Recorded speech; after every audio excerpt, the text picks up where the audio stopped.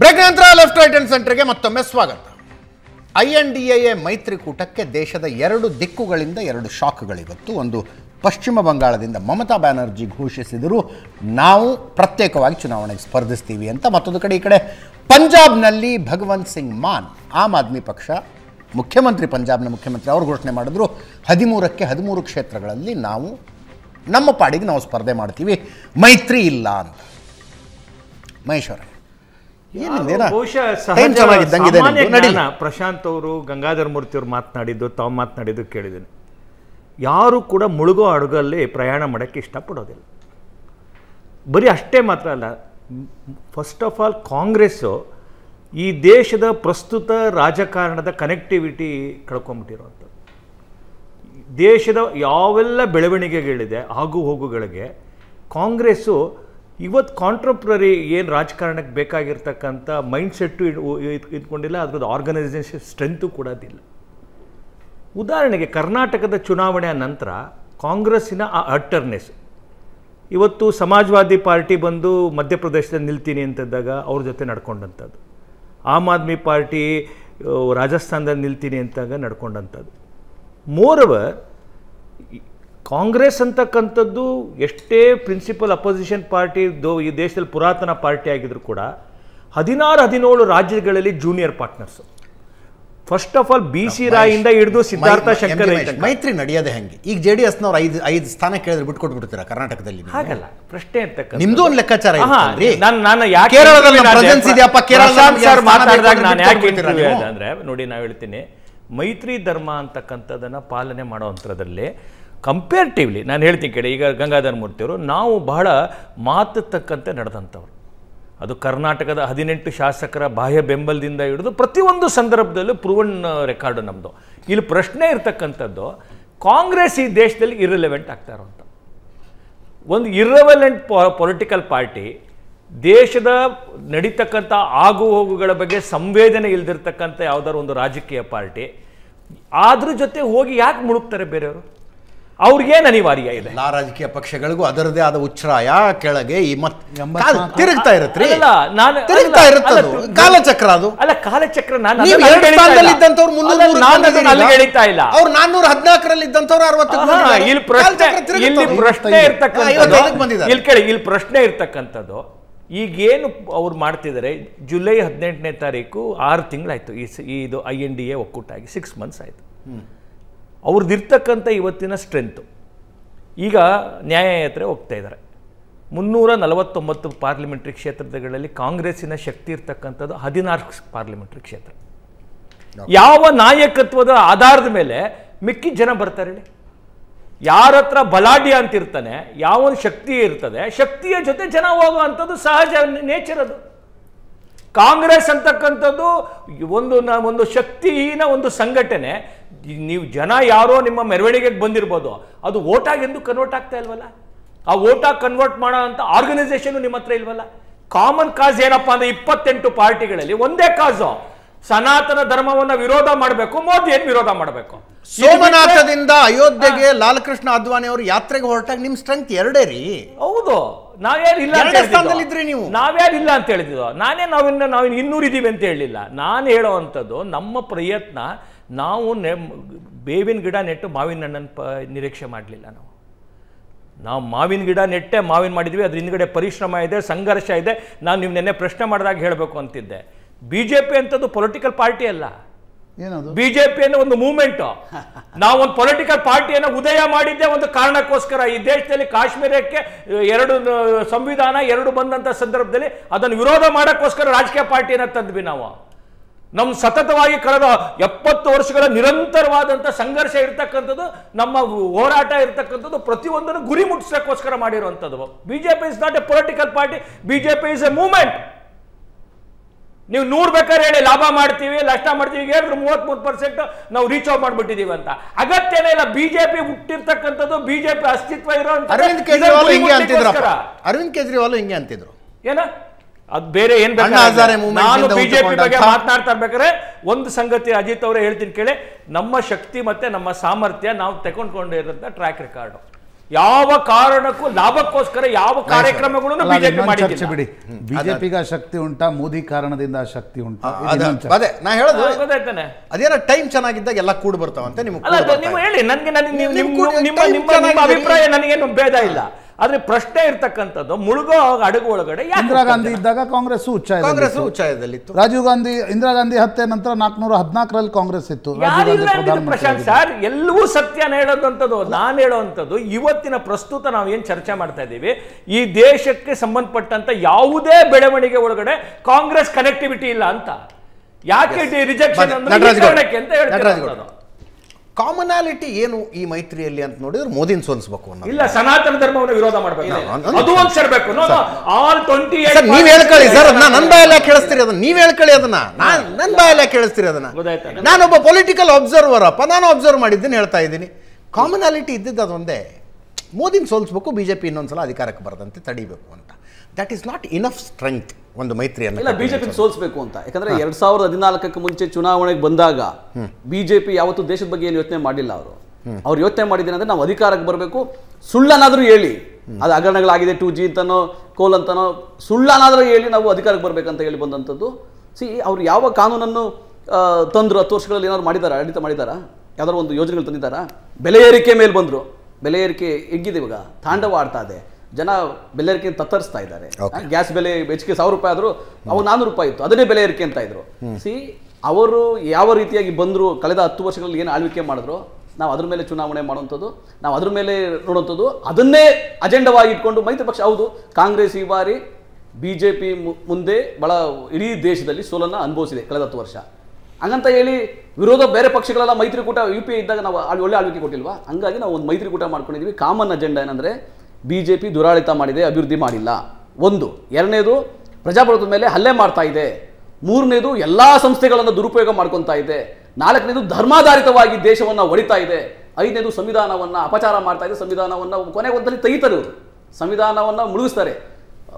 ಪಾರ್ಲಿಮೆಂಟ್ನ ಪುರೋಹಿತರು ಹೋಗಿ ಉದ್ಘಾಟನೆ ಮಾಡ್ತಾರೆ ದೇವಸ್ಥಾನ ಪ್ರಧಾನಮಂತ್ರಿಗಳು ಉದ್ಘಾಟನೆ ಮಾಡ್ತಾರೆ. ಈ ಅಂದರೆ ಯಾವುದನ್ನ ಯಾರು ಮಾಡಬೇಕು? ಯಾವುದು ಅಭಿವೃದ್ಧಿ ಅಜೆಂಡಾ ಇರಬೇಕು? ದೇಶದ ಅಜೆಂಡಾ ಯಾವ ರೀತಿ ಇರಬೇಕು? ಭ್ರಾತೃತ್ವ ಇರಬೇಕು ಸಹೋದರತ್ವ ಇರಬೇಕು ಸೌಹಾರ್ದತೆ ಇರಬೇಕು ಸಹಿಷ್ಣುತೆ ಇರಬೇಕು ಅದು ಯಾವುದು ದೇಶದಲ್ಲಿ ಇಲ್ಲ.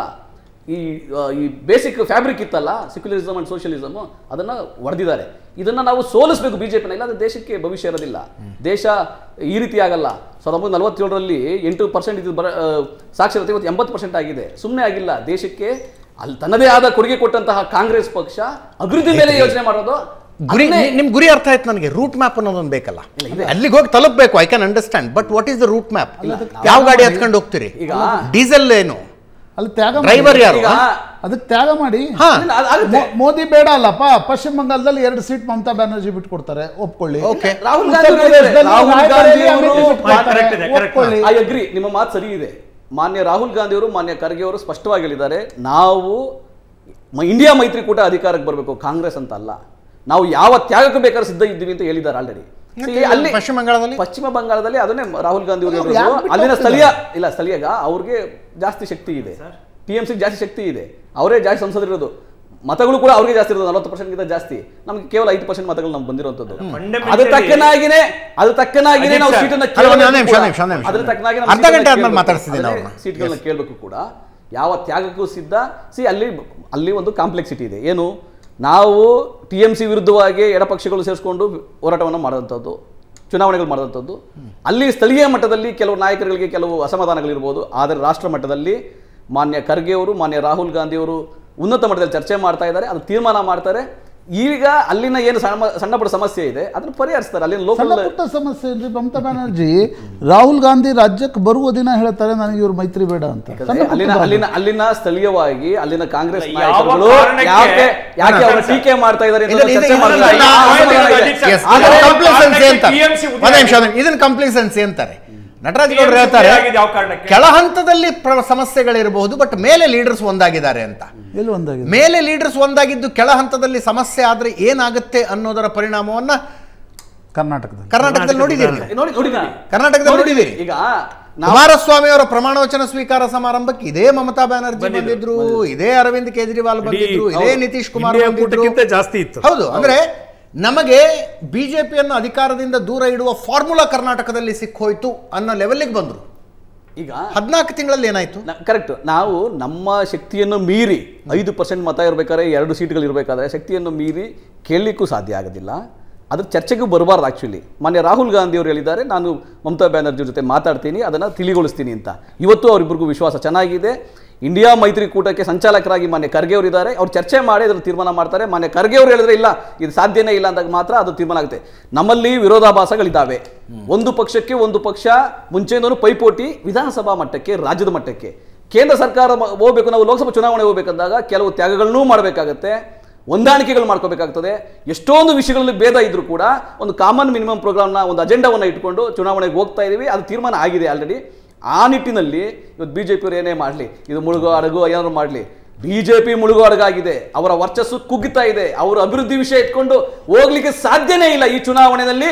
ನಾವು ಈ ಪಶ್ಚಿಮ ಬಂಗಾಳದಲ್ಲಿ ಮುಖ್ಯಮಂತ್ರಿ ಮಮತಾ ಬ್ಯಾನರ್ಜಿ ಅವರು ಮಾಧ್ಯಮದ ಎದುರಿಗೆ ಕಡ್ಡಿ ಮುರಿದಂತೆ ಸ್ಟೇಟ್ಮೆಂಟ್ ಕೊಟ್ಟಿದ್ರು ಕೂಡ ನೀವು ಹೇಳ್ತಾ ಇದ್ರಿ ಮತ್ತೆ ಹೋಗಿ ನಾವು ಅವ್ರನ್ನ ಕನ್ವಿನ್ಸ್ ಮಾಡ್ತೀವಿ. ಮೈತ್ರಿಯಲ್ಲಿ ಇರೋಣ ಅಂತ ಕನ್ವಿನ್ಸ್ ಮಾಡಿ ಮಾನ್ಯ ಖರ್ಗೆ ಅವರು ಸಂಚಾಲಕರಾಗಿ ಇಂಡಿಯಾ ಮೈತ್ರಿಕೂಟಕ್ಕೆ ಅವರು ಇಲ್ಲ ಅವರು ಹೊರಗಡೆ ಇದ್ದಾರೆ ಅಂತ ಹೇಳೋವರೆಗೂ ಕೂಡ ಅವರು ನಮ್ಮಲ್ಲಿ ಇದ್ದಾರೆ ಏನೇ ಮಾತುಕತೆ ಬಂದರೂ ಕೂಡ ಏನೇ ಚರ್ಚೆಗಳಾದರೂ ಕೂಡ. ಫೈನಲ್ ಆಗಿ ಅವ್ರು ಹೇಳೋವರೆಗೂ ಇದ್ದೇ ಇರ್ತಾರೆ. ಅದು ಪಂಜಾಬ್? ಪಂಜಾಬಲ್ಲೂ ಅಷ್ಟೇ ಸಿ ಈಗ ಆಮ್ ಆದ್ಮಿ ಪಾರ್ಟಿ ಪಂಜಾಬಲ್ಲೂ ನಮ್ದು ಕೂಡ ಈಗ ರಾಜ್ಯ ಚೆನ್ನ ರಾಜ್ಯ ಸರ್ಕಾರ ಅವ್ರು ಬಂದಿರ್ಬೋದು. ಆದರೆ ಲೋಕಸಭಾದಲ್ಲಿ ನಮ್ಮ ಪರ್ಫಾರ್ಮೆನ್ಸ್ ಚೆನ್ನಾಗಿದೆ. ಅಲ್ಲಿ ಸೀಟ್ ಶೇರಿಂಗ್ ಆಗುತ್ತೆ. ಅಲ್ಲಿ ಚರ್ಚೆಗಳಾಗುತ್ತೆ. ಅರವಿಂದ್ ಕೇಜ್ರಿವಾಲ್ ಅವರು ಪಕ್ಷದ ಮುಖ್ಯಸ್ಥರು ಅವರು ಮತ್ತೆ ರಾಹುಲ್ ಗಾಂಧಿ ಅವರು ಪಂಜಾಬ್ನಲ್ಲೂ ಮುಖ್ಯಮಂತ್ರಿಗಳೇ ಬಂದು ಅನೌನ್ಸ್ ಮಾಡಿದ್ರು. ಮೈತ್ರಿ ಇಲ್ಲ ನಮ್ಮ ರಾಜ್ಯದಲ್ಲಿ ನಾವು ಹದಿಮೂರು ಕ್ಷೇತ್ರ ನಾವೇ ನಿಲ್ತೀವಿ ಅಂತ ಹೇಳಿದ್ದಾರೆ. ಅದು ಸಾಧ್ಯ ಸ್ಟಿಲ್ ಯು ಥಿಂಕ್ ನಮ್ಮ ಮಲ್ಲಿಕಾರ್ಜುನ್ ಖರ್ಗೆ ಅವರು ಕನ್ವಿನ್ಸ್ ಮಾಡ್ತಾರೆ ಅವ್ರನ್ನ? ಮಾಡೇ ಮಾಡಲೇಬೇಕಾಗಿದೆ. ಯಾಕಂದ್ರೆ ಅವರ ಆಸೆ. ನೋಡ್ರಿ ಕನ್ವಿನ್ಸ್ ಮಾಡೋದಂದ್ರೆ ಪ್ರಾಕ್ಟಿಕಲಿ ಏನು? ನೀವು ಕೊಟ್ಟಷ್ಟು ತಗೋತೀವಿ ಅಂತ. ಎರಡು ಸೀಟ್ ಸರಿ ಮೇಡಮ್ ಒಪ್ಕೋತೀವಿ ಅಂತ ಹೇಳಬೇಕು. ಭಗವಂತ ಮಾನ್ರಿಗೆ ಸರಿ ಮೂರು ಸೀಟು ಎರಡು ಸೀಟು ಕೊಡಿ ಅಷ್ಟು ಒಪ್ಕೊಳ್ತೀವಿ ಅಂತ. ಕನ್ವಿನ್ಸ್ ಮಾಡೋದಂದ್ರೆ ನೀವು ಇವತ್ತು ಅವ್ರ ಮೇಲೆ ಇಲ್ಲ ನಾನು ನೀವು ಕೊಡಲೇಬೇಕು ಅಂತ ಹೇಳುವ ಸ್ಥಿತಿಯಲ್ಲಿ ಏನಿದೆ ಗೊತ್ತಾ? ಇಂಡಿಯಾ ಮೈತ್ರಿಕೂಟ ಗೆಲುವನ್ನ ಸಾಧಿಸುತ್ತೆ ಅನ್ನೋ ಭರವಸೆ ಎಲ್ಲಾ ಪಕ್ಷಗಳಿಗೂ ಬಂದಿದೆ. ಸಾಧಿಸುವ ಭರವಸೆ ಇದ್ರೆ ನಟರಾಜ್ ನನಗೊಂದು ಸ್ವಲ್ಪ ಪೊಲಿಟಿಕ್ಸ್ ಅರ್ಥ ಆಗುತ್ತೆ. ಸ್ವಲ್ಪ ನನಗೆ ಅರ್ಥ ಆಗೋ ಪಾಲಿಟಿಕ್ಸ್ ಪ್ರಕಾರ ಸಾಧಿಸುವ ಭರವಸೆ ಇದ್ರೆ ಅವರಿಬ್ರು ಇವತ್ತು ಆ ರೀತಿ ಹೇಳಿಕೆ ಕೊಡ್ತಾರೆ. ಈಗ ಹದಿಮೂರಕ್ಕೆ ಹದಿಮೂರು ಕೂಡ ಬಿಜೆಪಿ ಒಂದು ಗೆಲ್ಲಲ್ಲ? ಹದಿಮೂರಕ್ಕೆ ಹದಿಮೂರು ಕಾಂಗ್ರೆಸ್ ಇಲ್ಲಾಂದ್ರೆ ಆಮ್ ಆದ್ಮಿ ಪಾರ್ಟಿನೇ ಗೆಲ್ಲೋದು ಪಂಜಾಬಲ್ಲಿ. ಅವ್ರಿಗೆ ಹದಿಮೂರಕ್ಕೆ ನಾವು ಗೆಲ್ಲಬಹುದು ಅಂತ ಭರವಸೆ ಇದ್ದಾಗ ನಮಗೆ ಕೊಡಿ ಅಂತ ಅವ್ರು ಕೇಳ್ತಾ ಇದ್ದಾರೆ. ಯಾಕಂದ್ರೆ ನಾವು ಇಲ್ಲಿ ಅಧಿಕಾರದಲ್ಲಿದ್ದೀವಿ, ಬೇರೆ ಕಡೆ ಎಲ್ಲೂ ಮಾಡ್ಲಿಕ್ಕೆ ಆಗಲ್ಲ. ಅವ್ರಿಗೆ ಅನ್ಸಿದೆ ಆ ಥರ. ಆದರೆ ಅದೇ ಸತ್ಯ ಅಲ್ಲ, ಅದೇ ಕೊನೆಲ ಅಲ್ಲ. ವೆಸ್ಟ್ ಬೆಂಗಾಲಲ್ಲೂ ಅಷ್ಟೇ ಕೂಡ ಈ ಬಾರಿ ಒಂದು ಬಿಜೆಪಿ ತ್ಯಾಗ ಮಾಡಿ. ಒಂದು ಇಲ್ಲಪ್ಪ ಮೋದಿ ಯಾವುದೇ ಕಾರಣಕ್ಕೂ ಪ್ರಧಾನಮಂತ್ರಿ ಇನ್ನೊಮ್ಮೆ ಆಗಬಾರದು. ನಾವು ನಮ್ಮ ಸೀಟನ್ನು ತ್ಯಾಗ ಮಾಡ್ತೀವಿ. ಬೇಕಾದ್ರೆ ನಾವು ಒಂದು ಎರಡು ಮೂರು ನಾಯಕತ್ವವನ್ನು ತ್ಯಾಗ ಮಾಡ್ತೀವಿ. ಇಲ್ಲ ಅದನ್ನ ಆಗಿದೆ. ಈಗ ಅದನ್ನ ನಾವು ಸೀಮಿತ ಕರ್ನಾಟಕ ತೆಲಂಗಾಣ ಕೇರಳದಲ್ಲಿ ತಮಿಳುನಾಡಿನಲ್ಲಿ ಬಿಹಾರದಲ್ಲಿ ಮಹಾರಾಷ್ಟ್ರದಲ್ಲಿ ನಾವು ಫೈಟ್ ಮಾಡ್ತೀವಿ. ಮಧ್ಯಪ್ರದೇಶ ಛತ್ತೀಸ್ಗಢ ರಾಜಸ್ಥಾನ್ ಗುಜರಾತ್ ನಾವು ಏಕಾಂಗಿಯಾಗಿ ಫೈಟ್ ಮಾಡೇ ಮಾಡ್ತೀವಿ. ಉಳಿದ ರಾಜ್ಯದಲ್ಲಿ ವಿ ಸರೆಂಡರ್ ಅನ್ನೋದನ್ನಾದ್ರೂ ಹೇಳಿ. ಇಲ್ಲ ಈಗ ವೆಸ್ಟ್ ಬೆಂಗಾಲಲ್ಲಿ ಅವರು ಶಕ್ತಿಶಾಲಿಯಾಗಿದ್ದಾರೆ. TMC ಚೌಧರಿ ರಾಜಸ್ಥಾನ ಮಧ್ಯಪ್ರದೇಶ ಛತ್ತೀಸ್ಗಢ ಅಲ್ಲೆಲ್ಲ ನಾವು ಕಾಂಗ್ರೆಸ್ ವರ್ಸಸ್ ಬಿಜೆಪಿನೇ ಬರುತ್ತೆ ಹೊರತು. ಅಲ್ಲಿ ಯಾವ ಆ ಪಕ್ಷಗಳಿಲ್ಲ. ಆ ಪಕ್ಷಗಳು ಅಷ್ಟು ಪ್ರಬಲ ಪ್ರಭಾವಶಾಲಿ ಆಗಿಲ್ಲ. ಈ- ಈ- ಹಂಗಿರ್ಬೇಕಾದ್ರೆ ಪಂಜಾಬ್ ಅಲ್ಲಿ ದೆಹಲಿಯಲ್ಲಿ ಅವ್ರು ಚರ್ಚೆ ಮಾಡಿ ತೀರ್ಮಾನ ಆಗ್ತದೆ. ವೆಸ್ಟ್ ಬಂಗಾಳ್ನಲ್ಲಿ ಸಾವಿರದ ಒಂಬೈನೂರ ತೊಂಬತ್ತೊಂಬತ್ತನೇ ಇಸ್ವಿ ತೃಣಮೂಲ್ ಕಾಂಗ್ರೆಸ್ ಮಾಡಿದ್ದೇನೆ ಲೆಫ್ಟ್ ವಿರುದ್ಧ. ಮಮತಾ ಬ್ಯಾನರ್ಜಿ ಏನಕ್ಕೋಸ್ಕರ ಕಾಂಗ್ರೆಸ್ಸಿಂದ ಆಚೆ ಬಂದದ್ದು? ಲೆಫ್ಟ್ ವಿರುದ್ಧ. ಅದೆಲ್ಲ ಇವತ್ತು ಉಳಿದಿಲ್ಲ ಆದ್ರೆ ಇವತ್ತು ಏನು ಉಳಿದಿಲ್ಲ ಅಂತಂದ್ರೆ ಹಾಗಾದ್ರೆ ಒಂದು ಒಂದೇ ದೇವೇಗೌಡ್ರ- ಜೊತೆ ಮೈತ್ರಿ ಮಾಡ್ಕೊಂಡಿಲ್ವಾ? ಒಂದು ಒಂದು ಪಾಯಿಂಟ್ ಜೊತೆ ಮೈತ್ರಿ ಮಾಡ್ಕೊಂಡಿಲ್ವಾ? ನಿಮ್ದು ಆರ್ಗ್ಯುಮೆಂಟ್ ತಗೊಳ್ತೀನಿ ಒಂದೇ. ನಮ್ದು ದೇಶದ ಅಸೆಂಬ್ಲಿ ಸೀಟ್ ಒಳಗಡೆ ಜೊತೆ ಮೈತ್ರಿ ಮಾಡ್ಕೊಂಡಿಲ್ವಾ? ಸಾವಿರ ನಾಲ್ಕು ಸಾವಿರದ ಮೂವತ್ತಾರು ಸೀಟು ಬಿಜೆಪಿ ಇದೆ. ಇವರು ಐ ಎನ್ ಡಿ ಎ ಮೈತ್ರಿ ಕೂಟ ಇರ್ತಕ್ಕಂಥದ್ದು ಸಾವಿರದ ಆರುನೂರ ಮೂವತ್ತು. ಎಲ್ಲಿಗೆ ಎಲ್ಲಿಗೆ ಸಂಬಂಧ? ಸರ್ ಯಾರು ಯಾರ ಜೊತೆನೂ ಹೋಗಬಹುದು ಅನ್ನೋದನ್ನ ತೋರಿಸ್ಕೊಟ್ಟವ್ರೆ ನೀವು. ಅಜಿತ್ ದಾದಾ ಪವಾರ್ ಜೊತೆ ಹೋದ್ರಿ. ಇಲ್ಲಿ ಒಂದು ಅಜಿತ್ ದಾದಾ ಪವಾರನ್ನ ಎಷ್ಟ್ ಐವತ್ತು ಸಾವಿರಕ್ಕ ಘೋಟಾಲ ಅಂತ ಪ್ರಧಾನಮಂತ್ರಿಗಳೇ ಹೇಳಿದ ಎರಡು ದಿನಗಳಲ್ಲಿ ಅಜಿತ್ ದಾದಾ ಪವಾರ್ ನಿಮ್ ಜೊತೆ ಬರ್ತಾರೆ. ನ್ಯಾಷನಲಿಸ್ಟ್ ಕರಪ್ಟ್ ಪಾರ್ಟಿ ಅಂತ ಹೇಳಿ. ದೇವೇಗೌಡರ ಬಗ್ಗೆ ದೇವೇಗೌಡರ ಬಗ್ಗೆ ಎರಡ್ ಸಾವಿರದ ಹತ್ತೊಂಬತ್ತರ ಚುನಾವಣೆಯಲ್ಲಿ ಏನೆಲ್ಲ ಇತ್ತು ಹೇಳಿದ್ರಿ? ನೂರ್ ಹೇಳಿರ್ಬೋದು ಯಾವ್ದಾದ್ರು ನಮ್ಮ ಸರ್ಕಾರದಲ್ಲಿ ಕಳೆದ ಹತ್ತು ವರ್ಷದಲ್ಲಿ ಒಂದೇ ಒಂದು ಯಾವ್ದಾರು ಈ ಗೂಟಾರದ ಬಗ್ಗೆ ತನಿಖೆ ಮಾಡೋದು ನಿಲ್ಸಿದೀವ? ಎಲ್ಲ ಅವ್ರಿಗೆ ನಿಮ್ಮೊಳಗೆ ಇದಾರ್ರಿ ಒಂದ್ ನಿಮಿಷ ರೀ, ತನಿಖೆ ನೀವು ನೀವು. ತನಿಖೆ ನೀವು ಆ ಅಲ್ಲ, ಇಡೀ ನೀವು- ಕಳಿಸ್ತೀರಿ ಅಂತಾನೆ ಅವ್ರು ನಿಮ್ ಜೊತೆ ಬರ್ತಾ ಇದ್ದಾರೆ. ಇಲ್ಲ ಇಲ್ಲ ನಿಮ್ಮ ನಿಮ್ಮ ಅಸಂಪ್ಷನ್. ಕಾಂಗ್ರೆಸ್ ನಾಯಕತ್ವ ಅಜಿತ್ ದಾದಪ್ಪ. ಅಜಿತ್ ಇಡೀ ದಂಡ ಜೊತೆ ಬರ್ತಾರೆ ಅಂತ ನಾನು ಶಾರದಾ ಸ್ಕ್ಯಾಮ್ ತನಿಖೆ ಬಿಟ್ಬಿಟ್ವಾ ನಾವು? ಅವ್ರು ಈಗ ಬಂದು ಬಿಟ್ಟೋರಲ್ಲ ನಮ್ಮ ಜೊತೆ. ಅಖಿಲೇಶ್ ಮುಲಾಯಂ ಸಿಂಗ್ ಯಾದವ್ ಮತ್ತು ಮಾಯಾವತಿ ಕಾಂಗ್ರೆಸ್ ಜೊತೆ ಬರ್ತಾ ಇದ್ದಾಗ ಡಿಸ್ಪ್ರಪೋರ್ಷನೇಟ್ ಅಸೆಟ್ಸ್ ಕೇಸನ್ನ ಕಾಂಗ್ರೆಸ್ ಚಾಲ್ತಿಯಲ್ಲಿ ಇಟ್ಟಿತ್ತು ಯಾವ ರಾಜಕಾರಣಿನೂ ಕೂಡ ಕೇಸ್ಗಳನ್ನ ಮುಚ್ಚಾಕಿ ನೀವು ಅಂತ ಅನ್ನಲ್ಲ. ಅಂತಾರ ಗಂಗಾಧರ ಮೂರ್ತಿ ಅನ್ಕೊಳ್ತೀರಿ? ನಾವು ಹೇಳ್ತಕ್ಕಂಥದ್ದು.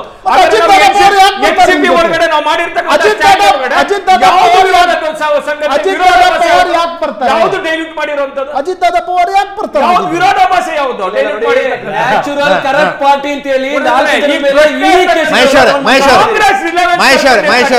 ಇಡೀ ಸಿಬಿಐ ವಿಚ್ ಹಂಟಿಂಗ್ ನೀವು ಸಮರ್ಥನೆ ಮಾಡ್ಕೊಳ್ಳೋದಕ್ಕಾಗೋದಿಲ್ಲ ಕಷ್ಟ ಹಾ, ಅದು ನಂಬರ್ಸ್. ನಂಬರ್ಸ್ ಹೇಳ್ತಾವ್ರಿ ನಂಬರ್ಸ್ ದಯವಿಟ್ಟು ಸಣ್ಣ ಬ್ರೇಕ್ ಸಣ್ಣ ಬ್ರೇಕ್. ಸಣ್ಣ ಬ್ರೇಕ್